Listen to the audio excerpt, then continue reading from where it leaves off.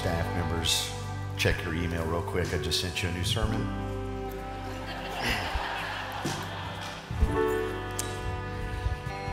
Praise God. If you didn't get it, ask somebody else and they'll send it to you. So I know you got a handout. We're going to talk about the power of salvation. Hang on to that. We're going to talk about that some other time. So I kept hearing a certain word throughout the service, and I thought, well, okay, well, okay. And then on, uh, I think it was Thursday. I don't, I don't know what is today. Sunday. Okay, good. Sunday. Yeah, it was Saturday. Notre Dame won yesterday for the first, so I do remember that. Uh, so, if you haven't been here in a long time, um, or been here, maybe this is your first year, first five years, maybe I have not told this story. I, I don't think I've told the story since before COVID, and COVID owes us three years of our lives back. And uh, so, you shall not die, but you shall live and declare the works of the Lord. So, because everything the enemy steals from you, he has to return sevenfold. So, I'll take another 21 years on top of that. So, um,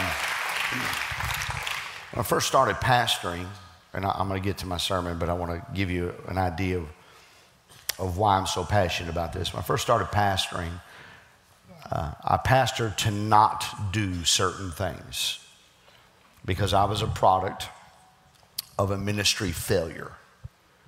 My pastor had a moral failure that made the headlines of every newspaper in the town that we were in.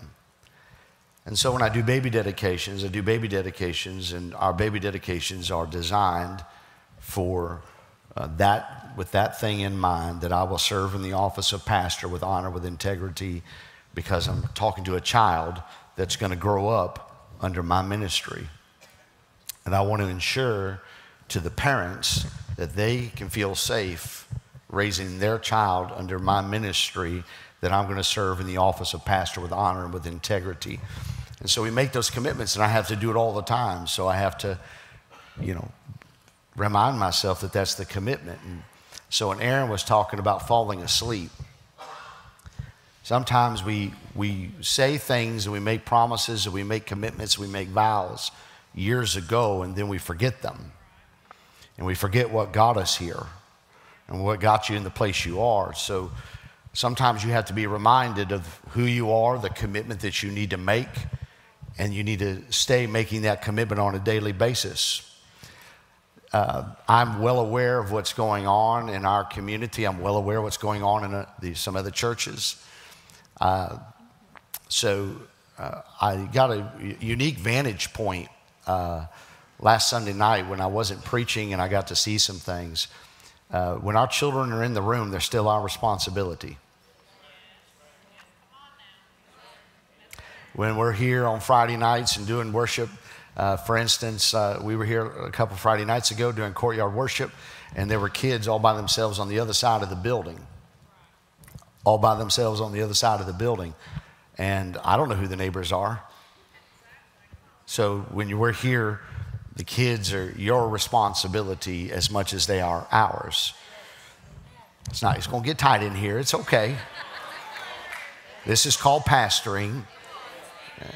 And uh, so, you know, we, we do our best, but it is up to all of us to be guardians of godliness, guardians of culture of our house. So if you see something, your first duty is to say something. And the Bible tells you who to say it to. Say it to them. Hey, what you're doing right there, that's not right. That's not appropriate. That's not good behavior. If they don't receive that, then you go get an elder and you bring the elder to them and then you talk to them. And then most people want to involve me first. And I have no problem getting involved, but it usually doesn't end well. Because if folks didn't take it from you and they didn't take it from an elder, that means all, their heart's already hard and they're already rebellious, which is going to lead to me having to openly rebuke them, which means I'm going to get behind this pulpit and say, uh, Sister so and so is, and usually people don't want that. But that's called biblical correction. And we need a whole lot more correction starting in the home. Okay? So, I don't know if I believe all that. I don't Well, look at our world today, and you're seeing what our world is right now because people won't stand up and say something. Oh, you can just be whatever you want to be. No, you're going to be what God called you to be. Oh, you can just do whatever you're going to do. No, no, you're not going to do whatever you want to do. In this house, you're going to be because nothing good ever happens after 11 o'clock.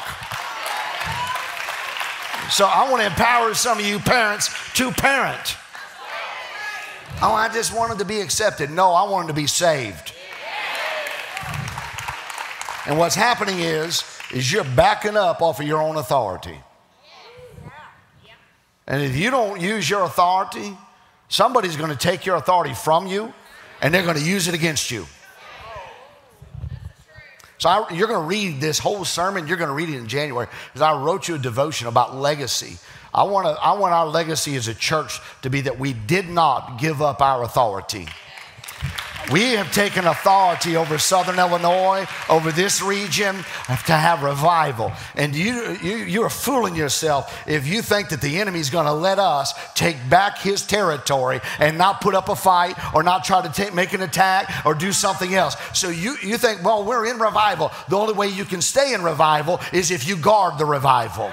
The only way you can keep a move of God is if you guard the things that brought about the move of God. And authority is the number one thing you have to take authority. I will not tolerate cancer. I will not tolerate sugar diabetes. I will not tolerate these diseases or sins. Why? Because we have authority over those things. And the minute we start saying, oh, you know what? It's just, it, it's just, oh, be okay. My grandma had it, my dad had it, and my sister had it, and I'm going to get it. No, take authority and make it end with you.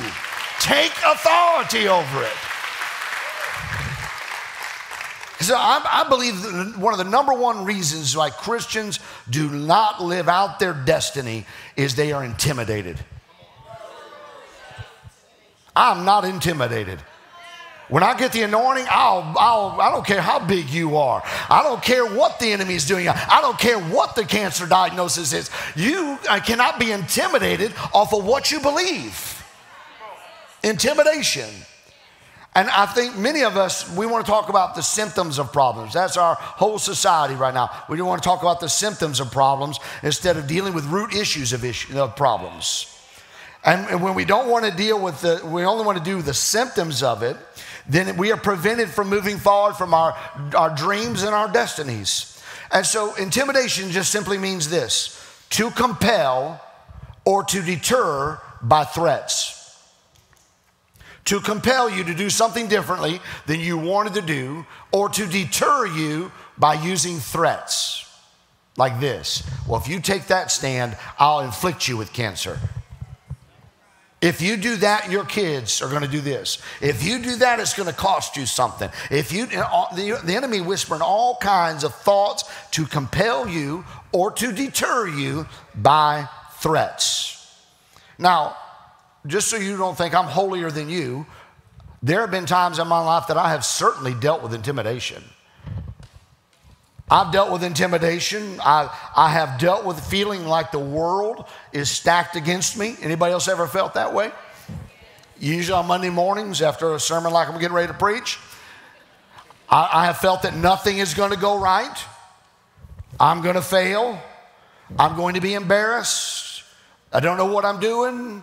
I'm underqualified, I'm not qualified, I'm disqualified. All those things, you don't think that those thoughts don't go through my mind every single Sunday? But at some point, you cannot be deterred by the threat that the enemy is placing into your life. And you've got to step up and do the will of God for your life. And you've got to step up and go against all of that intimidation. We would say maybe it's overcoming your fears, but what's behind that fear? Because the Bible does talk about a spirit of fear. But God did not give you the spirit of fear, He gave you one of power, of love, and of a sound mind. So behind that spirit of fear is the enemy of your soul who is intimidating you to to deter you away from what you desire to do, or he's compelling you to do something different than what you originally set out to do. Intimidation. So I deal with it. I'm sure Pastor Melissa deals with it. And so when I was in the corporate world, if you don't know this, I was a corporate executive before I was a pastor. My success was the byproduct of my fear of failure. I felt like the most underqualified. I mean, I was 25 years old. I was the youngest executive there. Uh, everybody else had master's degrees and PhDs, and I'm just this little boy from South Bend, Indiana, who did not even have a college education. But you know what? Can y'all just pardon my South Bend vernacular for a minute? I kicked their rear ends from one end of this country to the next. And then they said, Hey, man, what's the key to your success? And I, and I, I had a choice, right? I could say, I've been reading all these business books and I've been reading Rockefeller Habits, and I, I've read all those. But my key to success was on Monday night, my church had a prayer meeting. And when I got into that prayer meeting, I prayed the prayer of Jabez over my sales territory, over all my sales reps, over all my managers managers. I prayed over them every week. So they asked me in the Bahamas, Would you tell us what the key of your success is? I said, On Monday night, my church has a prayer meeting, and I pray over my territory. I pray over my sales reps. I pray over every contract. The only way I'm here is by prayer. And these things only come about by fasting and prayer. So I love your system, I love your sales process, but the only reason why I can put two words together is my God owns the cattle on a thousand hills and he owns all the gold that is in them, and his will is to bless me and to bring me to his expected end. Y'all, y'all, some of y'all get intimidated about the favor of God over your life. Man, favor ain't fair. That's why they call it favor. But as a child of God, you have favor over your life. And you shouldn't apologize that God has blessed you. Oh, look at them. No, no, look at Him. I have what I have because of Him. So I think sometimes we, we get into this fear of failure and we think, uh, we think more about the repercussions of failure then we talk, talk about the repercussions of successes. We want to talk about the repercussions of what happens, you know, if I don't do it. Well, what happens if you do? What happens if you do go lay hands on the sick and they recover? See, the repercussion if you don't do it, they're not going to recover. You already know that prophecy. But if you lay hands on the sick, they recover. And so you get ready to go pray for somebody, and the enemy's like, Well, I don't know if you should do that. And don't, because he's backing you out of your authority. And you need to walk in your authority. You need to walk in and not just walk in authority, exercise your authority. Because there's a whole lot of people say, I'm a parent, but never exercise the authority of a parent. You got the title of a parent, but your kids don't respect you as a parent. But you exercise that authority and they'll walk in your authority. Now, I know some of you probably, I wonder if he beats his kids. I think Morgan, when she was two years old, I smacked her hand one time. And I think Zoe, in her life, she says she's gotten two. She's mistaken. She's gotten one. But my kids know. Matter of fact, we were driving home the other night and there was some craziness going on. And Zoe said, Dad, you would never allow us to act like that. I said, You bet your bottom dollar if you acted like that, I'd knock you out. I'd have never knocked her out, but she knows don't talk to your mama like that. Don't you treat the house of God like that. Don't you treat the people of God like that. You need to have some honor and some respect and some integrity in your life. If you don't show up to work and you're lying, I'm going to call you out on it because my daughter is going to do it as unto the Lord. Exercise some authority. This is going to be a number one hit right here. Walk in your authority exercise your authority. And because in spiritual terms, God has given you that authority to walk in it and exercise it. If you don't do it, someone's going to take it and use it, and usually against you. And not only will they use it against you, they're going to use it against other people too. Let, us look at a conversation. Now, keep in mind, I had to write this really quickly, so I'm going to use the King James Version because that's the way my brain thinks. Luke chapter 4, verses 5 through 7. And the devil And they probably don't have this on the screens because I, I sent them an email 30 seconds before I walked on the stage. And the devil, taking him up into a high mountain, showed unto him, look at that, they're amazing, showed unto him all the kingdoms of the world in a moment of time. So he shows him, this is right after Jesus got baptized, the heavens opened, there was a voice from heaven, the devil takes him into a high mountain, he shows unto him all the kingdoms of the world in a moment of time, and the devil said unto him, All this power will I give thee, and the glory of them, for that is delivered unto me. For that is delivered unto me, and to whomsoever I will, I give it. If thou therefore will worship me, all shall be mine. Now, that's an interesting little thing. I thought all power in heaven and earth was in Christ's hand. Well, the enemy has some authority because somebody back in the book of Genesis did not walk in and did not exercise their authority.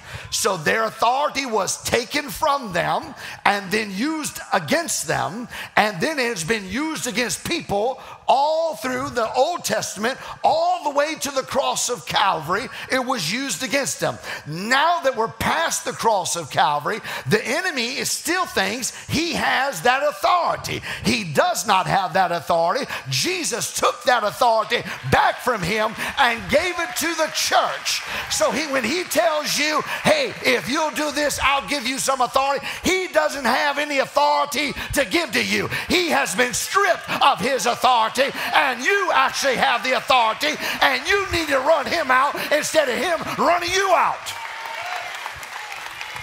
I just don't know, man. If we have church, people are going to do this, and when we have revival, this is going to happen. That's that's because we stand here in fear and intimidated. If we'll take a stand for God, listen, the enemy can't do anything to me, to you, this church, or this revival unless we allow him to do it. I'm preaching better than some of you want because some of you like church failure. Some of you like your family failure. But if you take authority over it, you will not be a failure. You will go on to go from glory to glory and from faith to faith. But you've got to take authority over it and stop backing up and backing down and being a Sunday Christian. Take authority on Monday. Take authority on Tuesday. Command your Wednesday. Be thankful for your Thursday and throw him out on Friday. That way you don't have to come to church on Sunday and repent over everything you've done on Saturday. Take authority over it. Now, that word, he said, all this power in verse 6, all this power, that word power there is exousia. It means the sense of ability. Usually we would say power is dunamis, but here's the word exousia. It's the sense of ability. It means force, capacity, competency, freedom, or mastery. It means the King James word would be authority or jurisdiction, liberty, power, right, or strength. Now, if we have power, if we have authority, that's just not dynamite power to throw things up, blow things up, but we have the right to have jurisdiction.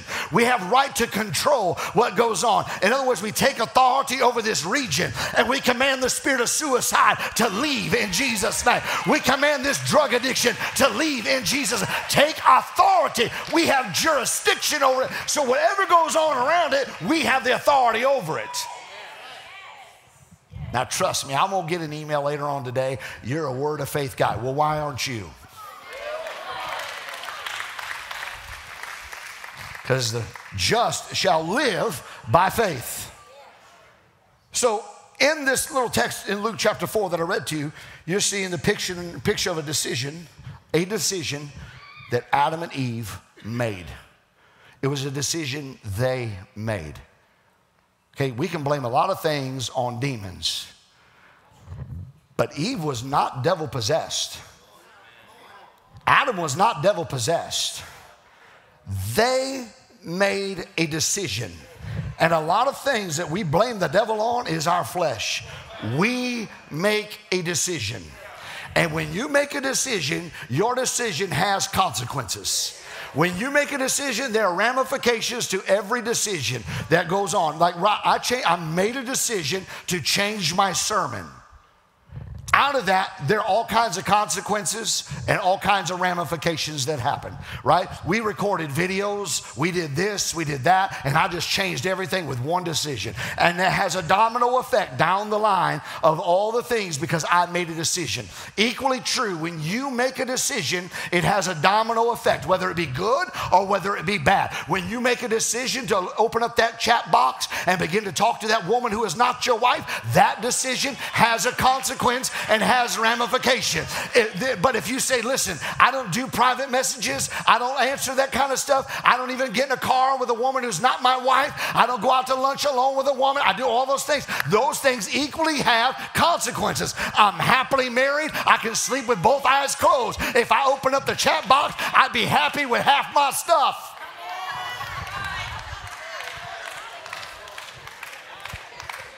It all has consequences. So when you don't take authority right now, when your child's three and four, and you think that rebellious attitude is cute and you encourage that behavior, that has a ramification and it has a consequence. If they won't respect your authority, then they won't respect his authority. If they don't respect their elders, they'll never do it.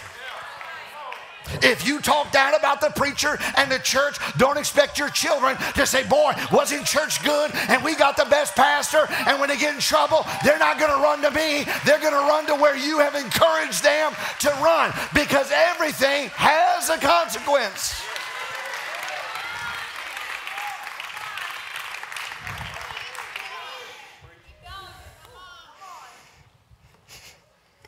So they made a decision. My question is, what decisions are you making? Oh, Pastor, you just got it easy. You're the pastor of the church. Are you kidding me? Do you know how much the enemy would love to knock me out? Do you know how much stuff comes at me? You know how many people want to private message me? Do you know how many women? I mean, I, take my phone to my wife and I go, What in the world is this? Who is this person? She's from some other country and she's wanting to chat with me and she has no clothes on. Now, she's got a few threads on, but in my opinion, you don't need to be sending that to anybody who isn't. You need to keep that stuff in the bedroom. I'm pastoring right now. I don't know what in the world's going on, man, but I'm sick and tired of the enemy letting, letting people make decisions that are ruining not only their own lives, but it's going on down the line. And so if I fall into that temptation, it not only affects me, it affects Melissa, it affects Morgan, it affects Zoe, it affects all my staff members, and it affects all of you. You need to be careful about the decisions that you're making oh, this ain't gonna bother nobody, right. Then when it hits the newspaper, the church gets a black eye, Christianity gets a black eye, and every person who's against the church starts sharing it, starts putting it out there. My God, we need to shut the mouth of the lion. And the way you shut the mouth of the lion is you don't give him a place in your life. Don't make a decision that will allow him to run rampant over your life.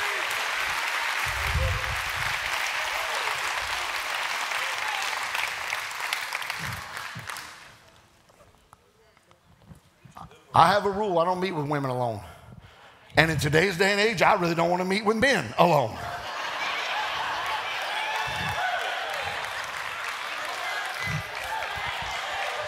The devil couldn't get you with, the, with an accusation from a woman, he'll get you with an accusation from a man. Guard yourself, guard your heart, guard your mind, guard your spirit, guard your anointing, guard your family. So what they think you're a prude. I'd rather be an anointed prude than a backslidden preacher. Oh, I don't know. No, if we want the divine outpouring of the Holy Ghost, it's going to come through holy sepulchres.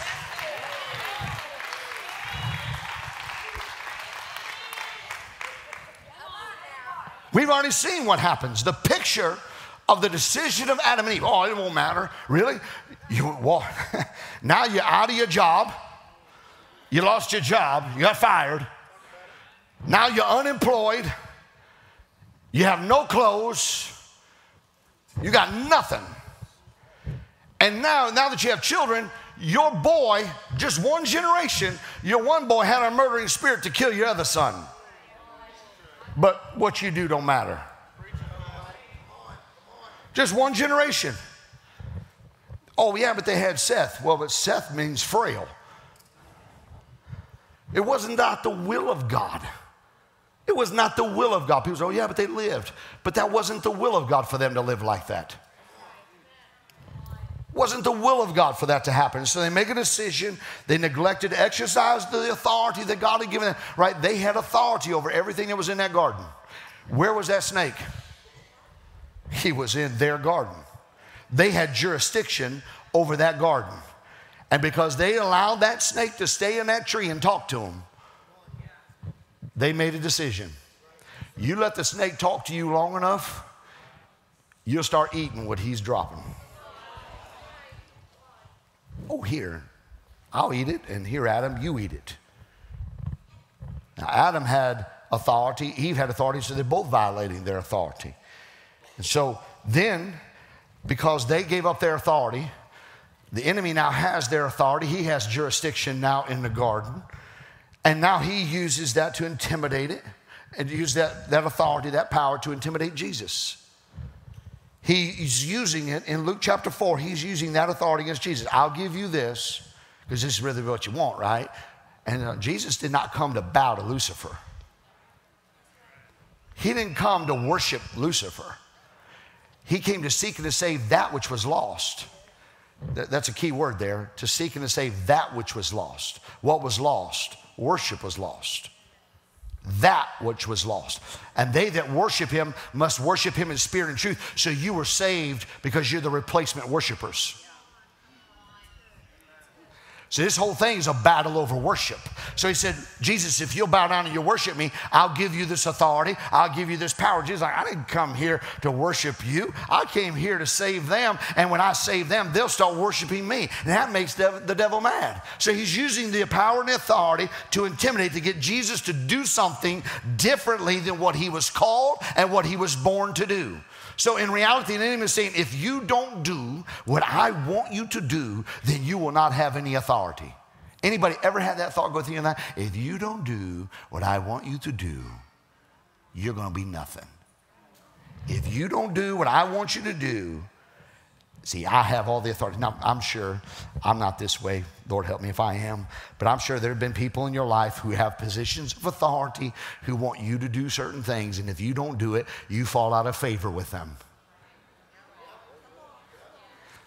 If you stand up for righteousness and speak truth to power, then all of a sudden you are ostracized and you're cast out. Can I tell you something in this church? If you see something ungodly, say something. I don't care who it is. I don't care who it is. I don't care what their name badge says. I don't care what seat they sit in. If you don't say something, it's trouble for them and it's trouble for all of us. You need to say something. You need to walk in your authority. And I know that's shocking. You're like, Ooh, should we say something? If you don't say something, then their soul is in jeopardy and the success of the church is in jeopardy. If you don't say something, you have authority. There, the believer has authority, not just the pastor. And I know all of you have been intimidated by this verse, right? Touch not mine anointed and do my prophets no harm. Anybody ever heard that verse? Well, aren't you anointed? Aren't you anointed? Isn't there anointing on your life? So don't be touching the anointing. Don't, don't be using your power and your authority to touch the anointing, the anointed ones. Don't be lords over God's heritage. We're here to be servants. It's getting deep in here. So Jesus was baptized. Everybody remember Jesus being baptized? Jesus was baptized, and then they begin to describe who he was through his genealogy. Now, that described who he was naturally. And his natural birth line proved out that he could be king. He could be king naturally. But the enemy wasn't interested in who he could be naturally. He doesn't care what you do naturally. The enemy was interested what happened when Jesus was baptized and the enemy heard a voice that he'd heard before.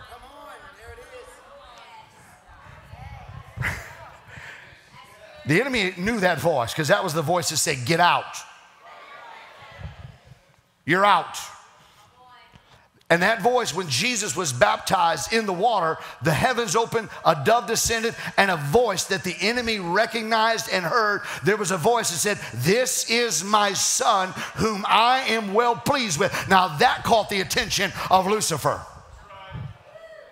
because now we're not talking about his genealogy naturally. Now we're talking about his genealogy spiritually. And when his spiritual father, not, not Joseph, his daddy on the earth, but when his spirit, his heavenly father said, This is my son whom I am well pleased with, that caught the ear of the enemy. And he's like, Whoa, I better pay attention here. Uh, there's something different about this boy. He could be king naturally, but I'm not worried about what he's going to do naturally. I'm worried about what he's going to do spiritually. And when you get a call of God on your life and your Heavenly Father begins to speak over you, that's a voice that the enemy is listening to. And when God says He's pleased with you, the enemy is going to take you to the wilderness and He's going to start tempting you and intimidating you because He doesn't want the Father to be pleased with you. Hmm, I heard. So now I got to derail them and I got to compel them to do something differently to get them out of their place with God, that place of favor with God. And the enemy will do everything in his power to displace you and to distract you in order to try to regain the authority that was stripped from him by Jesus Christ. Now, I want to just walk you through uh, your place. Maybe this sounds rude to you, but uh, I want to put you in your place. All right, so let's all be rude. Look at your neighbor and say, I want to put you in your place. I want to put you in your. Now, some of you getting a little anointed with that right now. I'm going to put you in your place. Mama said, let, let, let, me, you were the alarm clock and you woke them up. Now, now that you're awake, I want you to take your place.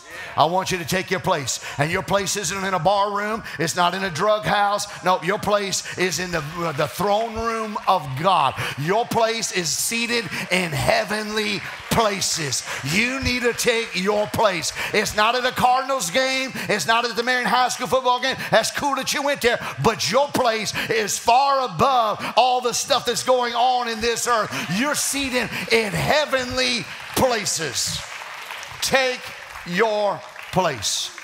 Let me read you a few verses. Psalm 91, verse 1. And he that dwelleth in the secret place, the secret place of the Most High shall abide under the shadow of the Almighty. Psalm 18, verse 9. He brought me forth also into a large place. He delivered me because he delighted in me. Psalm 26 and verse 12. My foot standeth in an even place in the congregations, I will bless the Lord.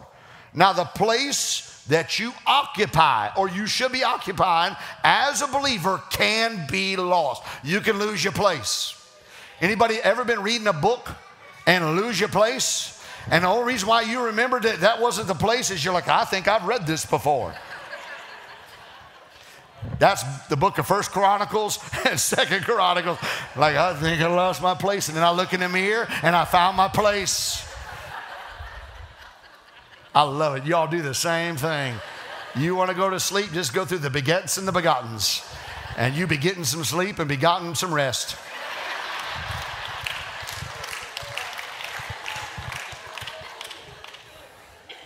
So you can lose your place you can relinquish your rights to your place. And the enemy is trying to get your place. Right? Ephesians chapter 4, verse 27. Neither give place to the devil.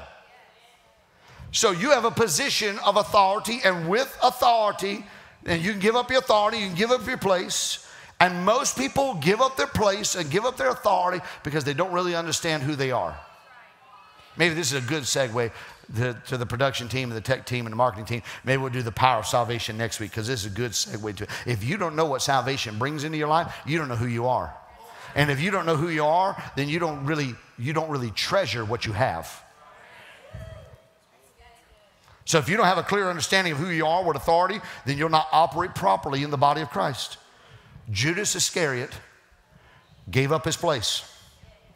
I don't think Judas had a clear understanding of just what exactly he could have been and who he was in Christ.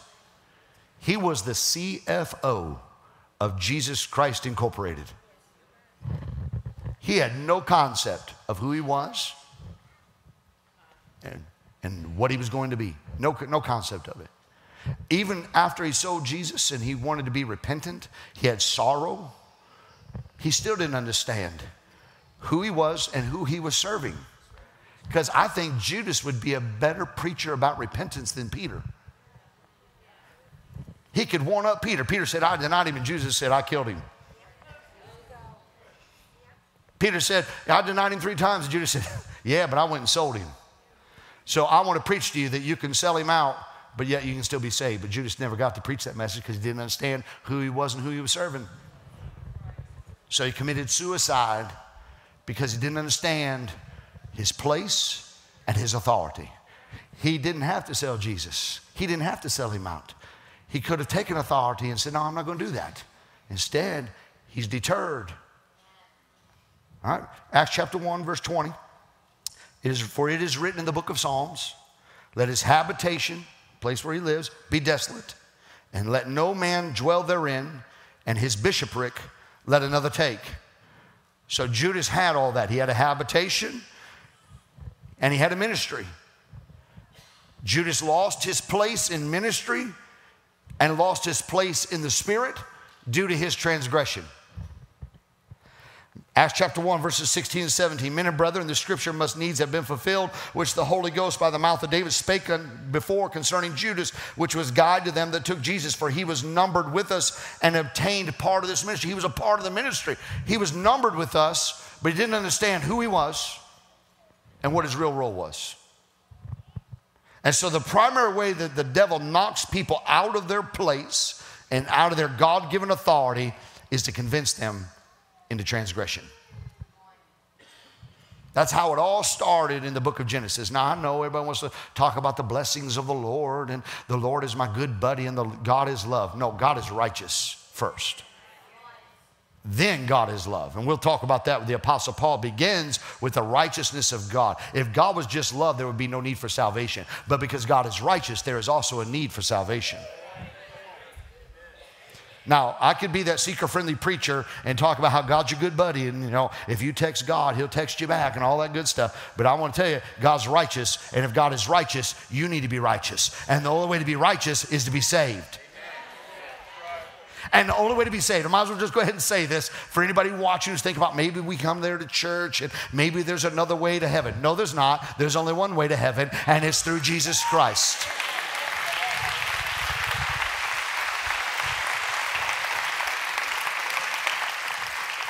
So, transgression, that's how it started in, in, the book of Genesis with Adam and Eve. He caused them to fall, got them into transgression, right?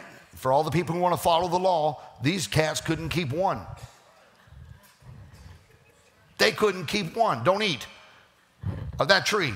Thousands of other trees. And let's go back to the law. I grew up under the law, and no one can keep it. That's the point of the law. Okay? You're never going to be holy for people who only believe in exterior holiness. But get some inward holiness, and you're holy enough for God. So he causes them to fall. They dis, they're now they're displaced out of their relationship with God. My house is like a maze. It's like, really, it's more like an escape room. If you can escape it, you're doing good. There's gates everywhere. Winston's crazy. He, the dogs take on the personality of the owners. He's got all kinds of energy and he's like, I love everybody and I just want to see everybody. And Marlo and Lucy are like, I hate that thing because before he got here, we could run wherever we wanted to go. We could sleep with mom and dad. We could get treats. We didn't have all this stuff. Eh, we could go outside when we ever we wanted to. I didn't have somebody biting my ear. I didn't have, and what's happened is, is two of our dogs who had always gotten along and Marla was alpha dog and Lucy was like, whatever you want to do, man. And now now that Winston's involved in it, now all of a sudden, two people who were originally getting along, now Lucy is turning on Marlo because she's trying to establish her place in the line of authority. It was never in question before, but now there's a question. So th- this is exactly what happened. There was little Bo Peep and his sheep were out there and they were minding their own business. And all of a sudden, they had no idea that Adam and Eve had ate an apple and they were just laying next to Mr. Wolfman and they were like, hey, buddy, we're going to go out and we're going to hang out. We're going to go watch a movie together. And out of nowhere, Mr. Wolfman takes a bite out of the lamb and he's like, what are you doing? He's like, I don't know. It just something come over me. See, the lion and the lamb could always lay down together, but because somebody else didn't walk in their authority and somebody else made a decision, it now affects people who had no idea what was even going on. And they're like, What are you doing? I had no idea. We were friends. And if you look at our world right now, people are going crazy against one another. It's because people are making the wrong decisions and they're not taking their authority. We would not have racism if the church would take authority over it because we were brothers all along, but somehow they want to divide us and cause us to war against one another. Is that not a play out of the enemy's playbook? And that's why we have got to take authority over it.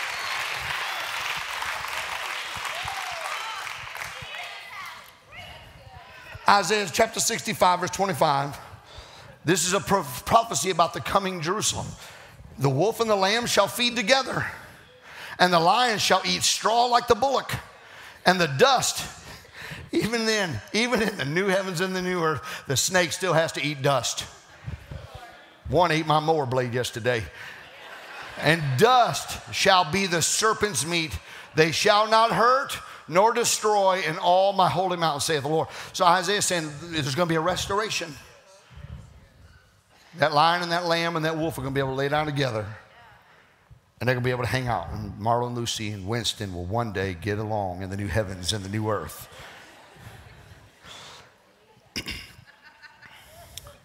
so a man forfeited his authority. I'm jumping way down in the notes. A man forfeited his authority. And because a man forfeited it, a man had to be the one who could restore it. Now, thousands of years before the fall of Adam, oh, excuse me, thousands of years after the fall of Adam, in a manger, there was a little baby born, and his name was, well, some of you knew it, uh, and his name was, all right, just want to make sure. His name is Jesus, and that baby was not part man and part God. His name was Emmanuel, meaning God revealed in man. Matthew chapter 1, verse 23 Behold, a virgin shall be with child and shall bring forth a son, and they shall call his name Emmanuel, which being interpreted is God with us. Not part God, all God. God with us. And the fact that he was a man gave him the legal right to regain what was lost at the fall. But because he was the Son of God, that exempted him from the lordship that the enemy had over man. So everything that Jesus did revealed the will of God. Everything that he said revealed the will of God. Sins were forgiven in his presence because they did not have dominion in his presence. Sickness and disease had to bow and flee because they did not have dominion in his presence because of his authority and power. Now, listen, I, this may shock you, but when we get to heaven, we're not going to go into some sort of chemotherapy to be delivered from cancer. He's not going to have a cure, he is the cure. His glory is the cure of it. It cannot exist in his presence. It, there, there's not a disease, there's not a sickness, there's not a sin, there's not an infirmity that can stand in his presence, it has to flee.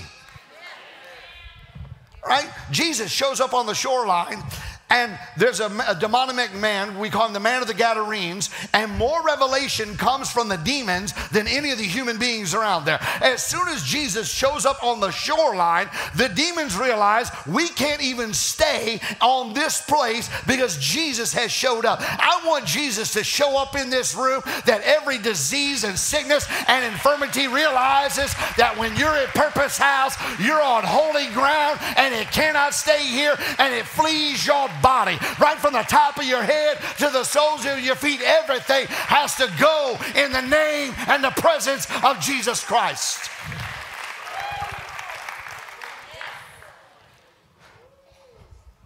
Luke chapter 5, verse 20.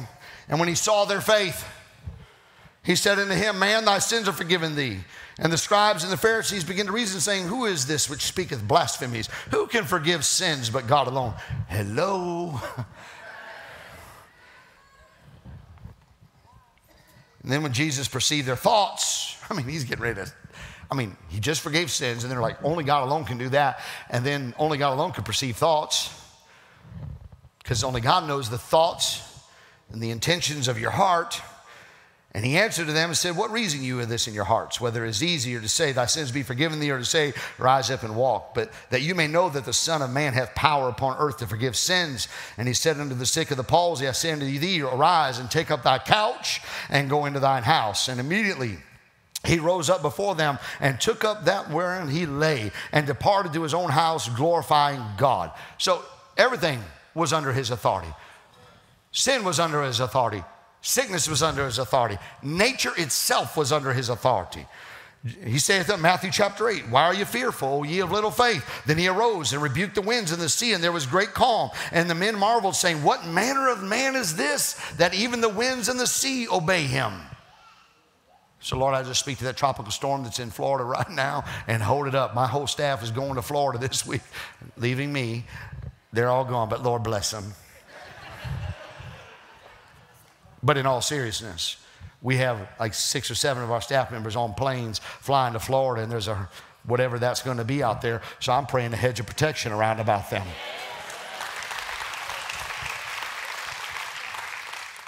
So Jesus was a walking, talking display of the authority that Adam once held on the earth. And Jesus was restoring the authority that Adam had relinquished at his fall. Not only did Adam lose his authority, but he was displaced in his relationship with God. And that was uh, the main purpose of Christ was to come and through authority restore the relationship of God and man. To restore relationship between us and God. Matthew chapter 28 verses 18 through 20. Jesus came and told his disciples, He said, I have been given all authority in heaven and on earth. Therefore, go and make disciples of all the nations, baptizing them in the name of the Father and the Son and the Holy Spirit. Teach these new disciples to obey all the commands I have given you, and be sure of this I am with you always, even to the end of the age. He said, I've been given all authority, and it's the same word as power in Luke chapter 4, the same word, exousia. I've been given authority there jurisdiction here. And then he told his disciples, because of this, go therefore. And that's the connection between our calling and his authority. Our calling is to go therefore and do what? Exercise authority. How many of you, when your parents ever left the house, they put you in charge? I was the youngest by age, so they never did this to me. But my parents would always put one of my older sisters in charge. And I'm like, really?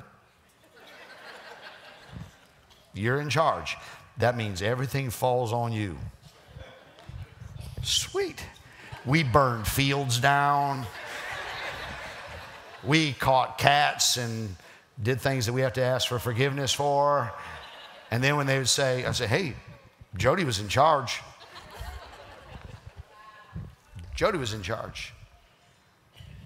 So, what the enemy wants to do now, because Jesus has authority, is he commits all these atrocities and then says, Well, look who's in charge. Well, I thought the church was in charge. So he commits all these atrocities and then puts it on us that it's our fault. Like acts of God. Was there hurricanes, tornadoes, earthquakes, raging fires? Was there any of that in the Garden of Eden? Man's sin created all of this. And a man who is not in relationship with God will have storms in his life that are uncontrollable too.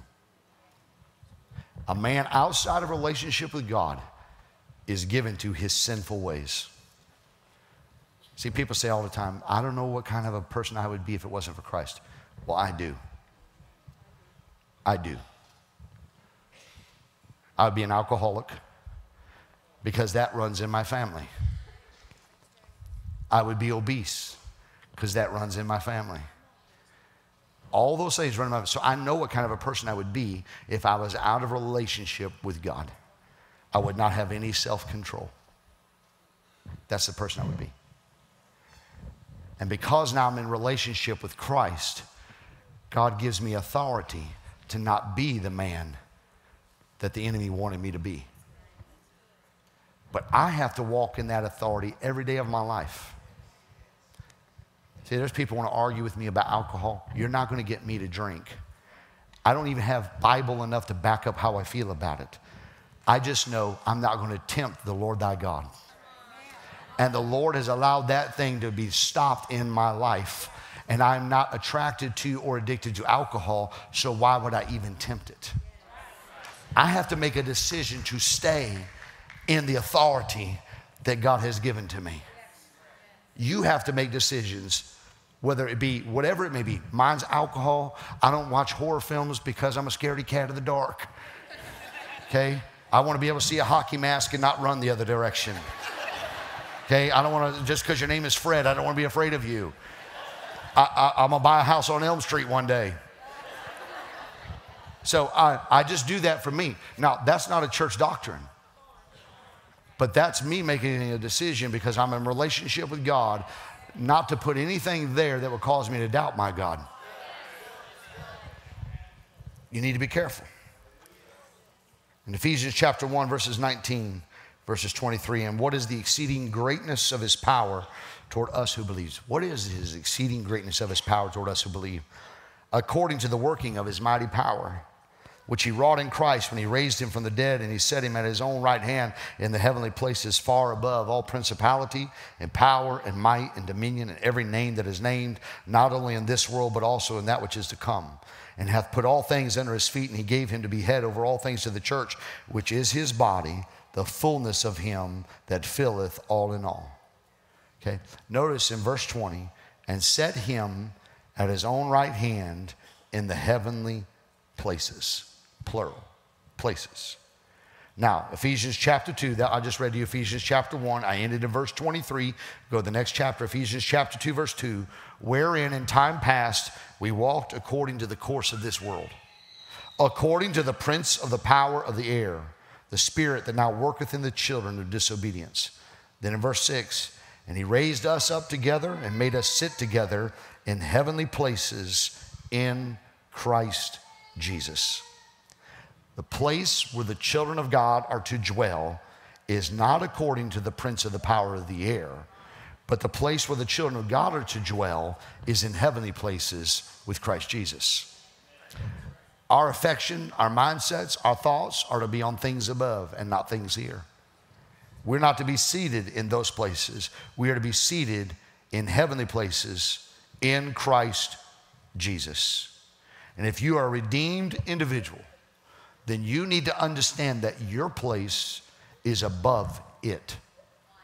Your place is above whatever it is that you're facing, that the enemy is bringing to you. Your place is above it. Above it. You're above it. Luke chapter 10, verses 17 through 20. And the 70 returned again with joy, saying, Lord, even the devils are subject unto us through thy name. And he said to them, I beheld Satan fall like lightning from heaven.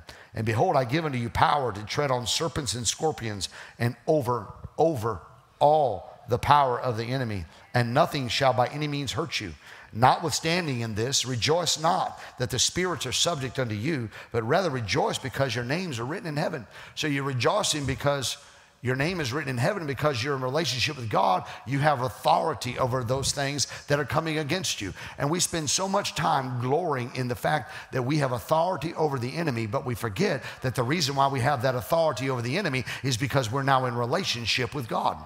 Because if you try to tangle with those scorpions and those things that sting you and harm you, and you're not in relationship with God, you're going to be like the sons of Sceva, and the enemy's going to beat you senseless. So the most important thing is to remain in right relationship with God. To remain in right relationship with God. Don't fall asleep in your relationship with God. Don't snooze on it. Stay in relationship with God. So if your place is to be in relationship with God, if you're in the throne room of God, right? Romans chapter 5, we have access to God, we have peace to God, we can enter into his throne room boldly. Let me ask you, how many of you would sin if you were in the throne room of God? Would you be carrying on that conversation if you were in the throne room of God? I love all these people. Well, if Jesus shows up, Jesus already showed up and he's already there and he already knows what you're doing. So I'm asking you, why are you doing it? Can you imagine what kind of church services we would have if we were already entertaining Jesus all week long? The anticipation that would have, so you have to remain there. It's not just a Sunday thing. We've, listen, church, those of you online, I think we've had enough of Sunday Christians. I think, I think we've had enough of people saying, well, I go to church. That doesn't make you saved. I play golf. That doesn't make me Tiger Woods.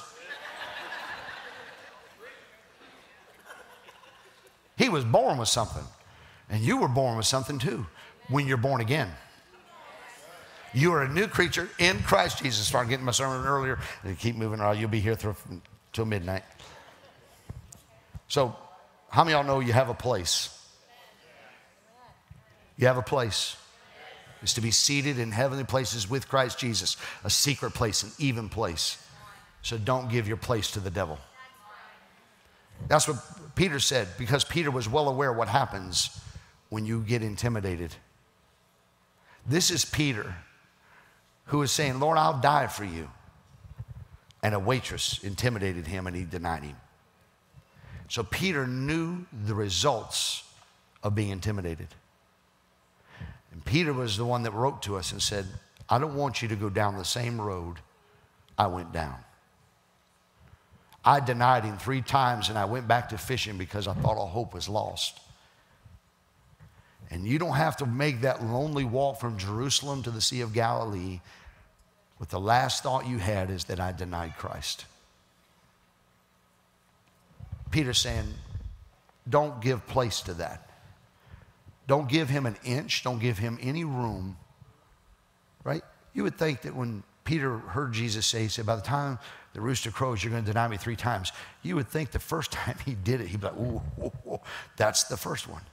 But once the enemy has you intimidated, the first one is the hardest one, the second one's easier, and by the third time, it just comes out your mouth. Don't give place to the devil. Don't give any room to him. Now, you may think that some of our rules here at the church are crude or coarse, but I know what it's like to question my calling because my pastor fell. I had to go ask a fallen man, Did God really call me, or did you have a plan for me? And it took years for me to work through those thoughts and those emotions. My wife is here. And there were times where I would get up and I would be like, I don't think I'm called by God. And she's like, why? Well, well, because I can't figure out because of what he did and how it affected me. And so I put things in my life right now so that there's not a young man coming up behind me that has to say, I wonder, was that really a word from God? Or was that just him? Because look at him now. You have to live your life thinking that every decision you make doesn't just affect you. Every decision you make affects others. I remember one time we took eight cars to lunch here at church. And we got to the lunch house, and everybody said, Man, that was crazy. And I'm like, Yep. But because of the way it worked out, we all had to drive separately because we would not allow a male staff member and a female staff member to drive in the same car together. alone. And so we all drove our own cars to lunch. Because that's crazy. Yeah, well, I'm not giving place to the devil. If you're in rooms by yourself, don't give place to the devil. It's funny, we had this conversation before church. Somebody said, You're going to put couches in those rooms. And I said, We don't buy couches here. We have a couch in your room. There's a couch in my office that nobody sits on except Winston. And there's a couch outside in a glass room. Why? Because we're not going to give place to the devil. So I'm saying to you is this when you start backing up off of your authority, and when you start just, well, that's no big deal, the enemy is inching his way in to destroy what God's trying to do. Call me a prude, call me whatever you want. Holier than now, that's old school. Well, you know what? The old school was pretty good. We were a whole lot better off when we were in the old school than this stuff where we have litter boxes in the school.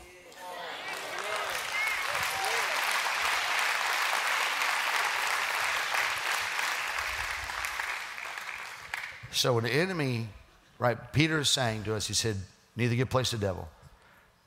He said, Your enemy is like a roaring lion seeking whom he may devour.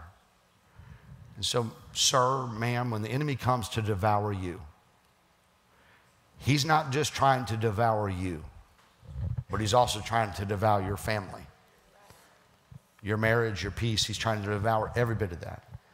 So when the enemy is on the prowl, he's looking to go after those who, if they fall to his temptation, would influence the most by their fall. And one of his greatest targets are those who are in leadership. And if he can force leadership into failure, then he makes every person who is feeding in that garden vulnerable. The animals were minding their own business, and Adam's fall caused them to have a problem. People could be minding their own business. For me, I was literally in the car driving the general superintendent of the, one of the largest organizations that I had ever known. I was driving him to the airport. I was on a spiritual and natural high. Dropped him off, dropped his suitcase off, and I got a phone call. Your pastor's just been arrested.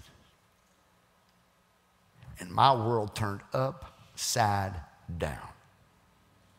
So when the enemy comes after you, he only doesn't get you, but he gets a lot of people underneath it who live the rest of their lives trying to figure out why.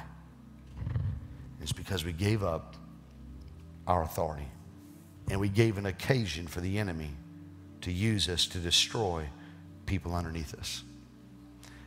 When a tree falls, it damages everything on the ground underneath it. So be careful of your decisions. Walk in your authority and do not give up your place to the enemy. So when David was supposed to be at war, it was the season of war. And instead of going to war, David says, I'd rather stay home. Idle hands are where the enemy loves to play.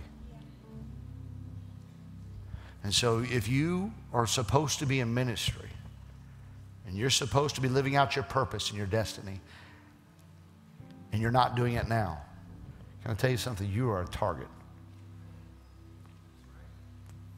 Because the sin wasn't just Bathsheba, he went so far as to murder his best friend to cover it up. Wouldn't it have been better if David would have just went to war? And just fulfilled his purpose. There's some of you that are on the sidelines and you need to get back on the battle lines and walk in your authority. And then there's going to be those that say, well, what if I've done this? What if I've messed up?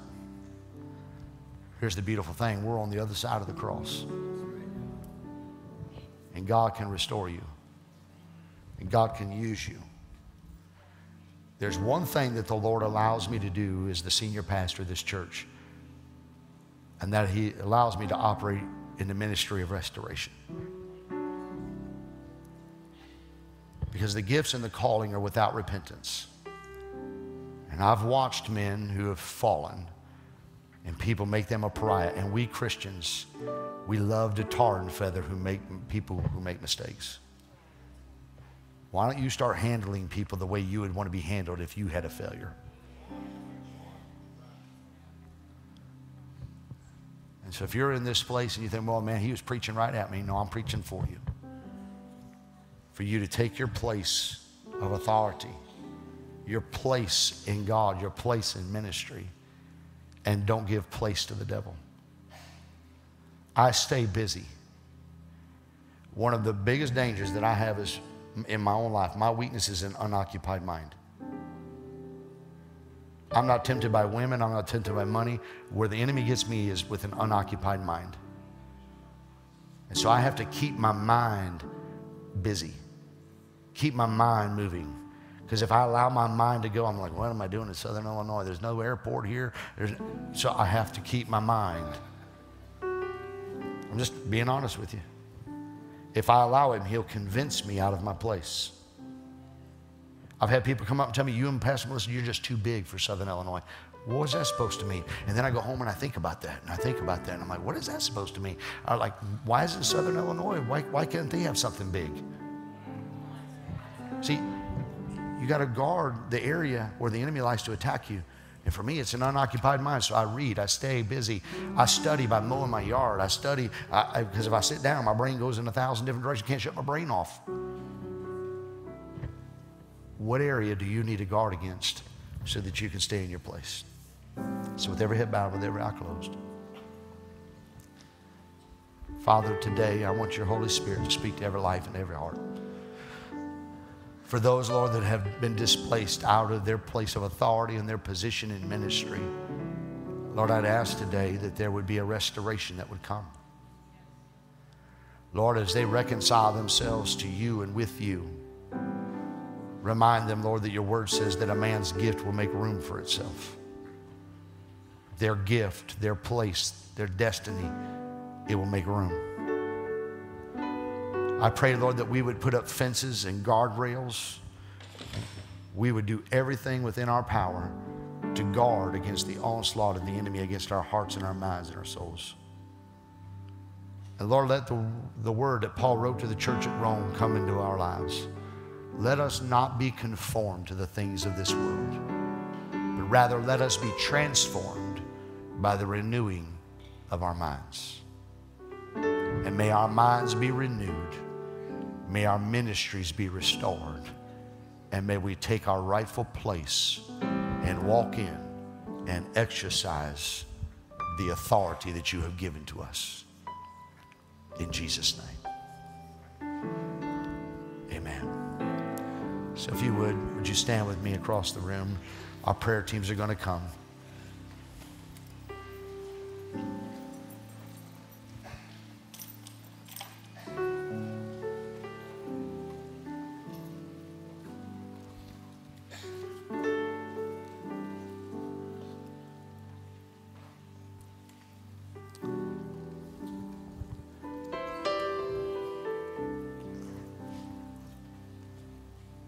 I love this house. I love what God's doing in this house. But I love God more than anything. I love the Lord more than anything. And I want that to be your heart's desire too. Is I love the Lord more than anything. More than anything, I want to be pleasing to Him. I'm serving to hear, Well done, thou good and faithful servant. I brought them forward, and if you need restoration in any area of your life, whether that be in your health, whether that be in ministry, whether that be in your marriage, your finances, in your family, with your children, that's what I want this moment to be about right now. If you need restoration in any area of your life, you need something to be restored, something that has been taken from you that you want restored back, then this altar is open for you. There's no judgment in this house. We have no Pharisees here. And we have no Sadducees here. We have real people of God in this house. So as Pastor Melissa sings, you make your way wherever you are. If you're online, you would like to send me something privately, it's Pastor J at purposehousechurch.org, and I promise you I'll read it and I'll respond. But just, just for a moment, if you would now across the room while people are coming, if you just lift your hands to the Lord, and I want you to surrender everything out to Him. Heavenly Father, sweep over this place. Thank you again for tuning into the Purpose House Church YouTube channel. When you're on site here, we do a three week challenge asking you to come to any and all of our services for three weeks, and we believe that you would find your new church home. But now that you're online, I'm asking you to do the three click challenge. Click the subscribe button, click the like button, and click the share button. By liking and sharing our video, you're helping us fulfill our purpose of sharing the gospel of Jesus Christ around the world. Then, if you would, in the comments section, please let me know where you're watching from and if there is anything that we can pray with you about in your life. Thank you again for tuning in to the Purpose House Church YouTube channel, and I look forward to seeing you again real soon.